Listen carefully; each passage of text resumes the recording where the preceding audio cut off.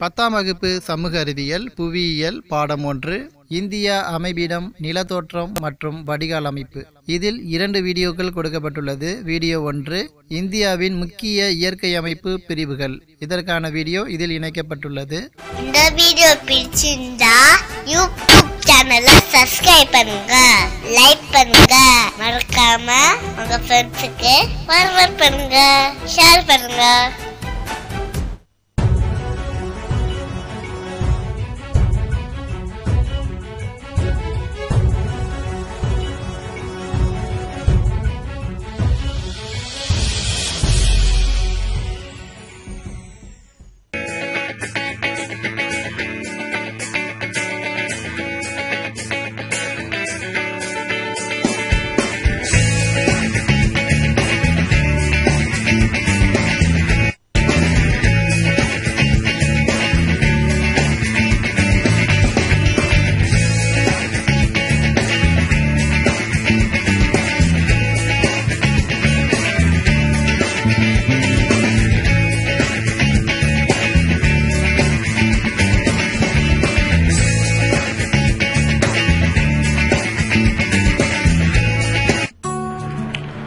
ஆறு பிரிவுகள் கொண்ட நம்ம இந்தியாவோட இயற்கை அமைப்பை பார்க்கும்போது ரொம்பவும் ஆச்சரியமா இருக்குது.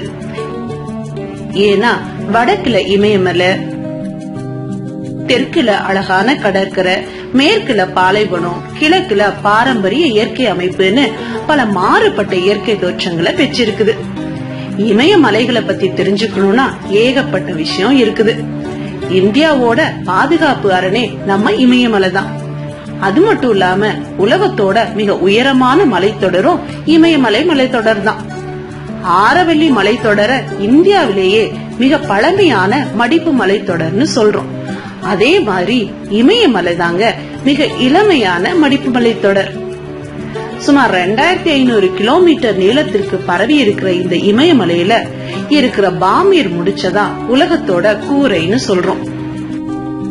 இமாலயா அப்படிங்கிற சொல்லு சமஸ்கிருத மொழியில பனி உறைவிடம் அப்படின்னு அழைக்கப்படுது. உலகத்துல இருக்கிற உயிர் பன்மைய தொகுதிகள்ல இமாலய அடிவாரம் முக்கிய தொகுதியா விளங்குது.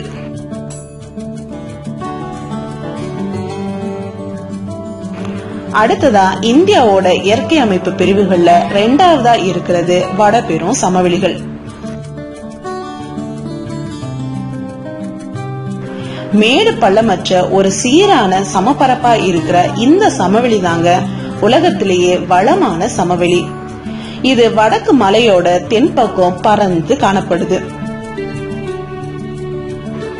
இந்த சமவெளியில சிந்து கங்கை பிரம்மபுத்ரா மற்றும் அதோட துணை ஆறுகளால உருவாக்கப்பட்ட வண்டல் மண் படிவுகள் காணப்படுதுங்க. சுமார் ரெண்டாயிரத்தி நானூறு கிலோமீட்டர் நீளத்திற்கு பரவி இருக்கிற இந்த சமவெளி வட இந்தியாவோட ஏழு மாநிலங்களை உள்ளடக்கி இருக்கு இந்த சமவெளி சுமார் ஏழு லட்சம் சதுர கிலோமீட்டர் வரைக்கும் பரவியும் காணப்படுது. வட சமவெளிக்கு தெற்கே அமைஞ்சிருக்கிற தீபகற்ப பீடபூமி தான் மூன்றாவதா இருக்கக்கூடிய இயற்கை அமைப்பு. இந்த தீபகற்ப பீடபூமி பழமையான பாறை அமைப்புகளையும் பல குஞ்சுகளையும் பல்வேறு சிறு பீடபூமிகளையும் ஆற்று பள்ளத்தாக்குகளால பிளவுபட்டு காணப்படுது. இந்த பீடபூமியோட எல்லையா வடமேற்கே ஆரவல்லி மலை தொடரும். வடகிழக்கே பண்டல்கன் மற்றும் தாஜ்மஹாலும் மேற்கு பகுதியில மேற்கு தொடர்ச்சி மலையும் கிழக்கு பகுதியில கிழக்கு தொடர்ச்சி மலையும் அமைஞ்சிருக்குது. தக்கான பீடபூமி முக்கோண வழியில அமைஞ்சிருக்குது. உலக அளவுல ஏழாவது பெரிய பாலைவனமா இருக்கக்கூடிய தார் பாலைவனம் சுமார் ரெண்டு லட்சம் சதுர கிலோமீட்டர் பரப்பளவு கொண்டது. இது இந்தியாவுக்கும் பாகிஸ்தானுக்கும் எல்லையா அமைஞ்சிருக்குது. இந்த பாலைவனம் ராஜஸ்தான் மாநிலத்தை உள்ளடக்கி இருக்கு இந்திய தீபகற்ப பீடபூமியோட ரெண்டு பக்கங்களிலும் கடற்கரையை ஒட்டி அமைஞ்சிருக்க சமவெளிகள் இந்தியாவோட இயற்கை அமைப்புக்கு மேலும் அழக கூட்டுதுங்க. இந்த கடற்கரை சமவெளி எல்லாம் ஆறு மற்றும் கடல் அலைகளோட அரித்தல் மற்றும் படிய வைத்தல் செயலால உருவாக்கப்பட்டது.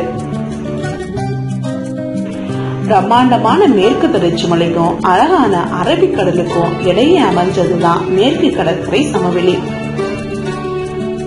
இந்த மேற்கு கடற்கரையோட வடபகுதிய நம்ம கொங்கண கடற்கரைன்னு சொல்றோம். அதே மாதிரி மத்திய பகுதிய கனரா கடற்கரைனும் தென் பகுதிய மலபார் கடற்கரைனும் சொல்றோம். இயற்கை எழில் கொஞ்சக்கூடிய கிழக்கு மலை தொடருக்கும் வசீகரமான வங்காள விரிகுடாய்க்கும் இடைப்பட்ட சமவெளி தான் கிழக்கு தொடர்ச்சி சமவெளி.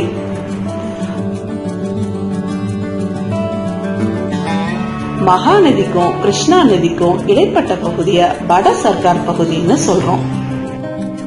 கிருஷ்ணா நதிக்கும் காவேரி ஆத்துக்கும் இடைப்பட்ட பகுதி தான் சோழமண்டல கடற்கரை. நம்ம சென்னையில இருக்கிற மெரினா கடற்கரை தாங்க உலகத்திலேயே ரெண்டாவது பெரிய கடற்கரை. இது உலக அளவுல ரொம்ப புகழ் வாய்ந்தது.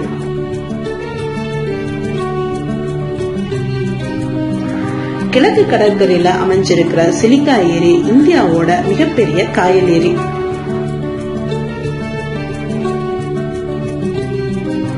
அடுத்ததா இந்தியாவோட தீவுகளா? அந்தமான் நிக்கோபார் தீவு லட்சத்தீவு அப்படின்னு ரெண்டு தீவு கூட்டங்கள் இருக்குதுங்க. அந்தமான் நிக்கோபார் தீவுகள் வங்காள விரிகுடாவில அமைஞ்சிருக்குது. இதுல ஐநூத்தி எழுபத்தி ரெண்டு தீவுகள் இருக்குதுங்க. இந்த தீவுகள் எல்லாம் பூமத்திய ரேகைக்கு அருகில இருக்கிறதுனாலயும் அதிக ஈரப்பதும் அதிக வெப்பம் கொண்ட காலநிலை நிலவுறதுனாலயும் இங்கு அடர்ந்த காடுகள் காணப்படுது. இதோட பரப்பளவு எட்டாயிரத்தி இருநூத்தி நாற்பத்தி ஒன்பது சதுர கிலோமீட்டர். அடுத்ததா இருக்கிற லட்சத்தீவு அரபிக்கடல்ல அமைஞ்சிருக்குது. இது சுமார் இருபத்தி ஏழு தீவு கூட்டங்களை பெற்றிருக்குது.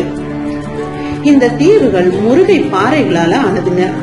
சுமார் முப்பத்தி ரெண்டு சதுர கிலோமீட்டர் பரப்பளவையும் கொண்டது. லட்சத்தீவு மினிக்காய் மற்றும் அமினி தீவு கூட்டங்களை ஆயிரத்தி தொள்ளாயிரத்தி எழுபத்தி மூணாம் ஆண்டு முதல் லட்சத்தீவு அப்படின்னு சொல்லி நம்ம அழைக்கிறோம்.